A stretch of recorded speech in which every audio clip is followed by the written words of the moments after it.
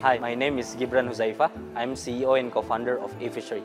eFishery is providing IoT services that can help farmers to feed the fish automatically. It is connected to the sensor that can sense the fish appetite and sends the data to the cloud. And farmers can monitor it uh, using the smartphone. We started eFishery, actually was a fish farm myself. And when I had the idea to build the feeder, uh, it was just about you know building the feeder for my fish farmers fellows. So, so it's, it's a simple idea, small idea for a small business.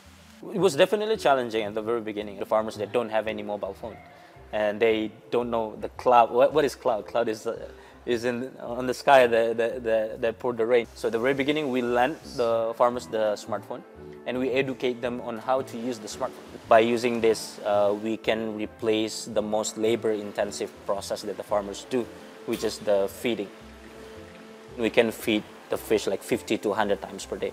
So eventually the fish will grow faster and we can save the feeding costs quite significantly. And all in all can double their income.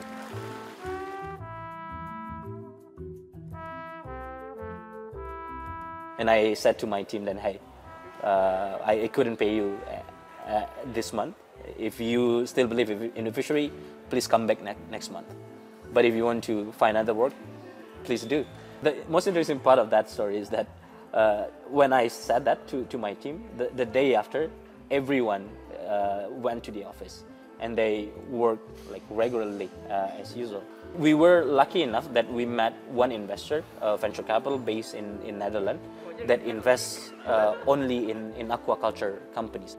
We were their second investment. So my advice for the future founders is solve fundamental and important problems. Not just follow trends, follow the problems and solve it with technology.